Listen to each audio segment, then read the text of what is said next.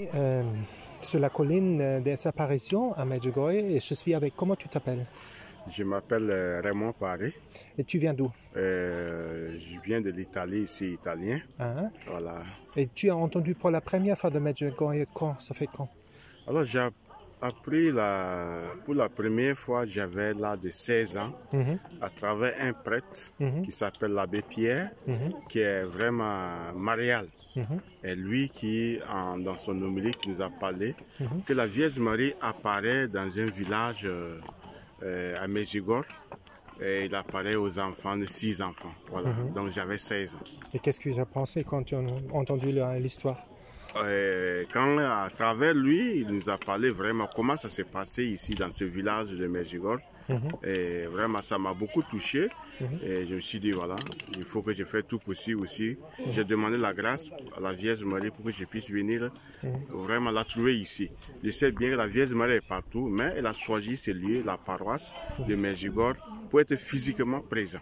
mhm. Voilà, donc pour ça, je suis venu. C'est ma quatrième fois que je suis là. Et je pourquoi tu reviens toujours? Je reviens toujours, je sens toujours l'appel de la Vierge Marie Mhm. de venir quand même honorer et glorifier Dieu à travers elle. Mhm. Parce que la Vierge Marie a fait pour moi dans ma vie de grandes merveilles. Mhm. Voilà, c'est une mère qui n'abandonne pas ses enfants. Qu'elle soit dans la foi, que tu n'es pas dans la foi, la Vierge Marie est notre mère pour tout le monde. Donc pour ça, vraiment, il faut qu'on remercie la Vierge Marie en Mhm. tout temps et en tout lieu. Et tu as reçu des grâces spéciales ici à Medjugorje? Et Eh oui, j'ai réussi vraiment spécialement des grâces, et surtout en 2012. Mhm, Euh, quand je suis venu ici, je ben, les gens parlent de signes, moi je n'ai jamais vu signe. mhm, Mais en 2012, euh, c'était en août 2012, Mhm. et je suis parti euh, à assister à l'apparition de la Vierge Marie avec la Vierge Maria de ce côté à gauche. À la sortie, je partais pour la messe à 18h, mhm, et de là, en partant, j'ai vu le soleil. Le soleil était tellement rouge, bien rouge. J'ai dit, mais comment ça se fait qu'un soleil devient rouge comme ça? Je me posais la question. Et après le, après le rouge, le rouge s'est espacé un peu vers la gauche. Et le soleil est resté tout blanc. Le soleil reste tout blanc comme de la neige, comme je dis, comme de la neige. Et après, le, le rouge là venait encore couvrir euh, le blanc. Et c'est vraiment blanc, et rouge, rouge, du sang vraiment. Mhm. Et après, je me suis dit, mais qu'est-ce que ça signifie? Mhm. Alors, après, dans mon cœur, j'ai entendu la voix, c'est le sang et l'oxy. Le sang était rouge Mhm. et le blanc, c'était l'oxy. Que le soleil était vraiment blanc. Blanc, je vous dis, blanc, blanc, comme je voyais ça blanc. Et maintenant, le, le- le rouge, c'était le sang de Jésus que j'avais vu. Et le même jour, et durant la mèche, j'ai vu Jésus sur le nuage. Sur le nuage, c'est c'est informe, c'est le nuage, c'est pas le corps humain quand je vois, mais c'est le nuage en forme de Jésus. Mhm. Et les mains tendues sur le nuage comme ça. Mhm. Je l'ai vu ça. Et le même jour, le 15 août 2012, je répète, il y a une grosse croix qui est apparue sur le ciel. Je n'ai pas vu ça. Moi, je n'ai pas vu ça. Oui, je n'ai pas vu ça.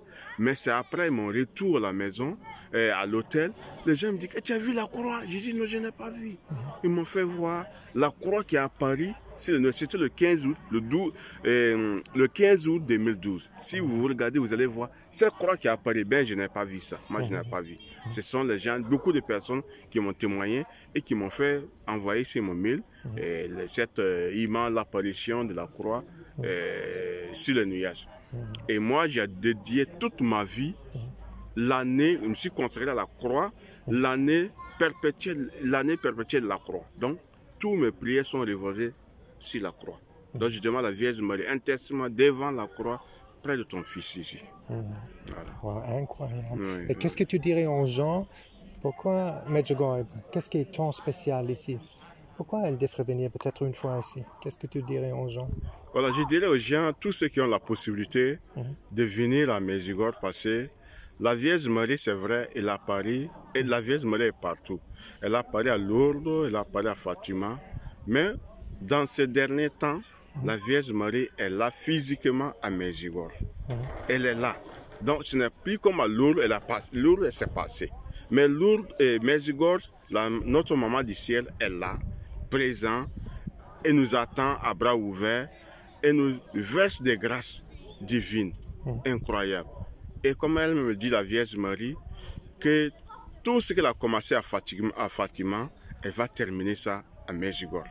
Donc pour moi, tout ce qu'elle a possible de venir, venez prendre les sources de grâce à Medjugorje, que la maman est là. Voilà. Merci.